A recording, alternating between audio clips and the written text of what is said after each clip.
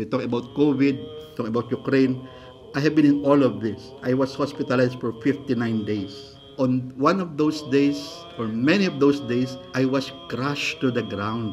I have seen the face of terror. That's why when I hear people talking about, oh, I will die for Christ. yeah, right. My 15 years of clinical experience psychology is nothing. When I'm confronted with death, with hopelessness, that's why when people said, oh, I like to fight for Christ. No, you won't. When the Antichrist comes, you are the first to follow because outside you are pious, but inside you, you have suffering for moral sickness.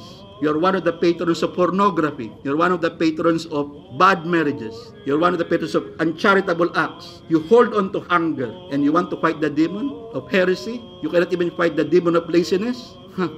Just like you only have $10 trying to buy a Ferrari. You don't understand why you cannot buy a Ferrari. You only have $10 spiritual life.